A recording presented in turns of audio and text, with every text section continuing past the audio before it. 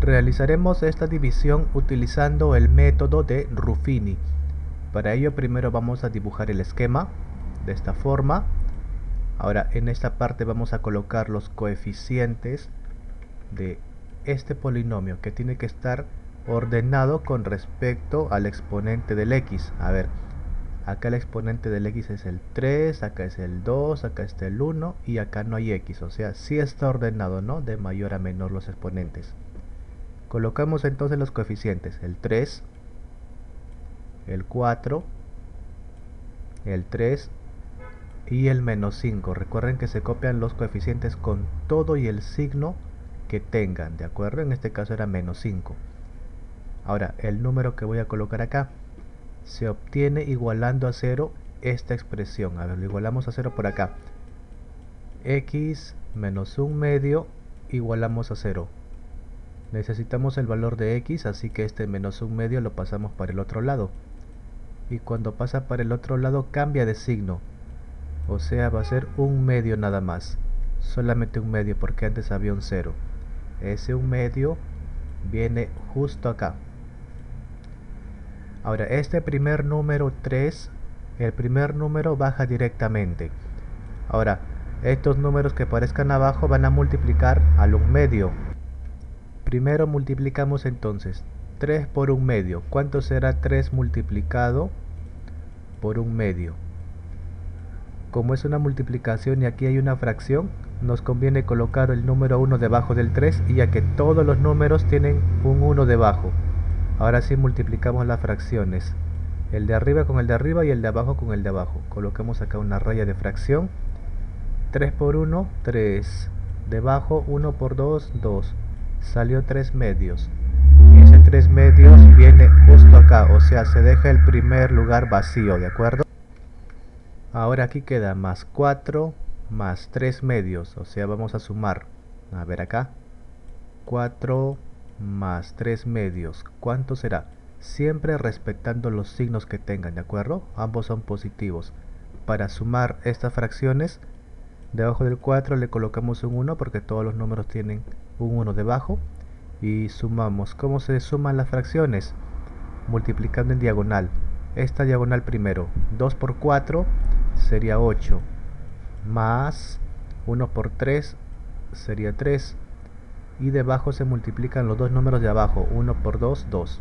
Finalmente, ¿qué quedó? 8 más 3, que es 11 sobre 2.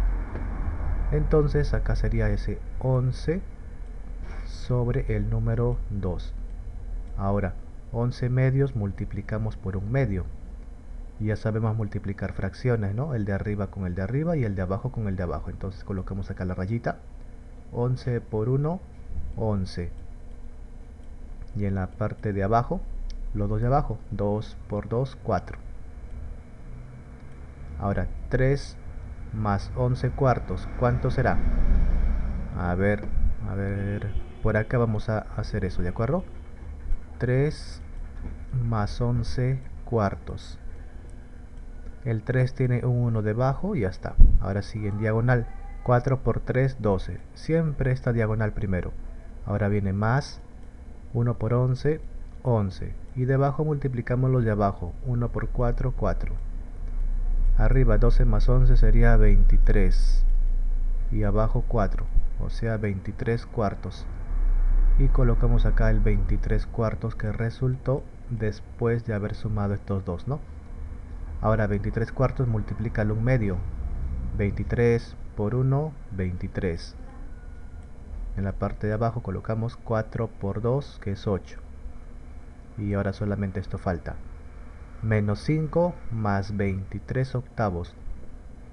O lo que es lo mismo, 23 octavos que tiene signo positivo le voy a restar este 5 ya está. Fíjense el 23 octavos es positivo el 5 es negativo tal cual.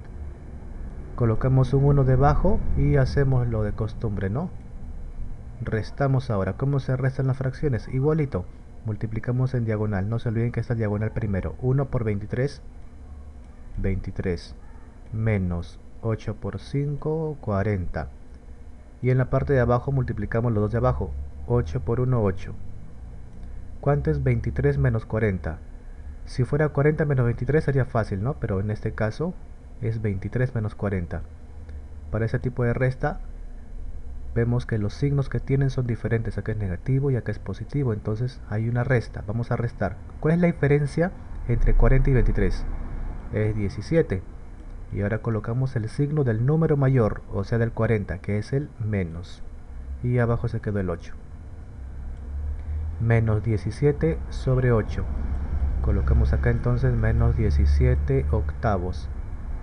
Y colocamos la raya dejando una columna libre siempre utilizando el método de Ruffini, ¿de acuerdo? Siempre que utilicen el método de Ruffini hay que poner una línea dejando una columna a este lado. Entonces ya tenemos acá. Este menos 17 sobre 8 sería el residuo. ¿De acuerdo? Este va a ser el residuo. Ahora el cociente va a salir de aquí. ¿Y cómo sale? A ver, cada número vamos a dividirle entre el coeficiente que tenga este x. Como acá tiene coeficiente 1 porque no se ve lo que le acompaña el x, ¿no? Se sobreentiende que es 1. Entre 1 vamos a dividir cada uno. 3 entre 1, 3. 11 medios entre 1 sigue siendo el mismo 11 medios. 23 cuartos entre 1 es el mismo 23 cuartos. Ya está. Ahora colocamos los signos que tiene cada uno. Este va a ser positivo, este no se ve nada, también es positivo. Acá tampoco no se ve nada, así que es positivo, ¿no? Lo podemos dejar así. Este primer número no va a tener x, este sí va a tener x y este va a tener x al cuadrado. Siempre se ordena así. El primero sin x, este otro con su x y este otro con x al cuadrado. Y si hubieran más, se le pone x cubo, x cuarta, etcétera. Entonces todo esto es el cociente.